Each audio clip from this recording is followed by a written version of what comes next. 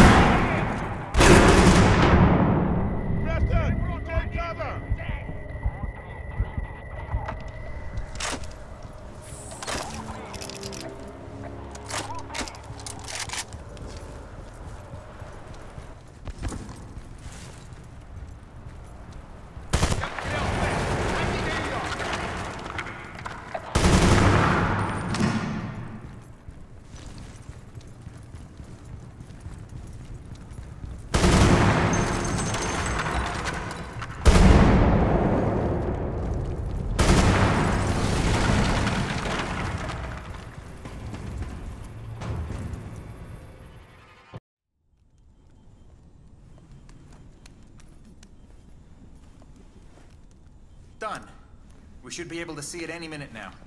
Luckily, this thing's mostly broken as is and real easy to hack. Yeah. God bless the French.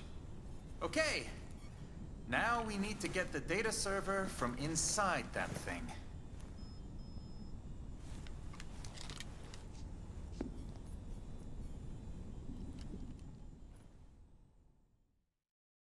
Okay, it's out of geosync orbit and coming in hard.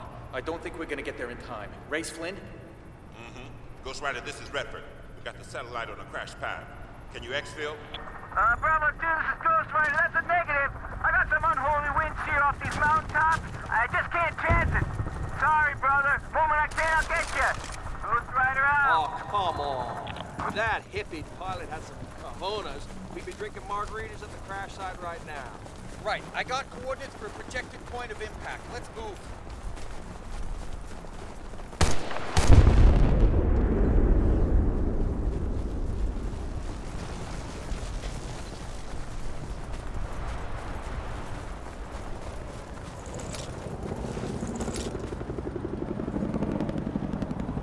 Okay, there it is.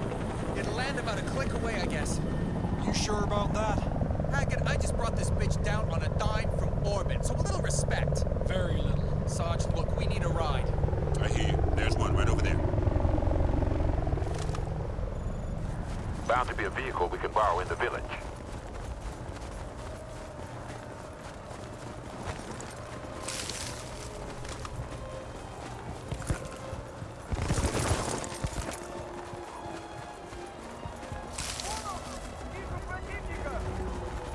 Okay, this is gonna hurt.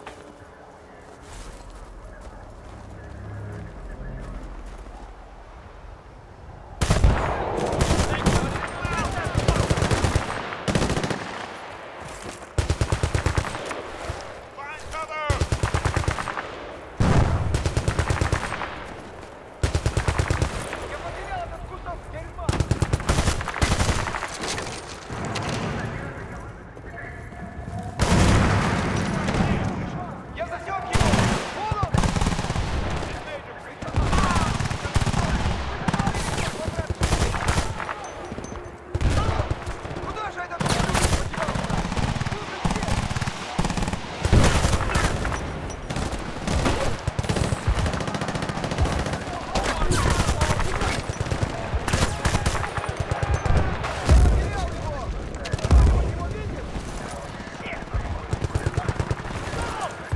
You ought to stay off Main Street. Try and get up on the rooftop.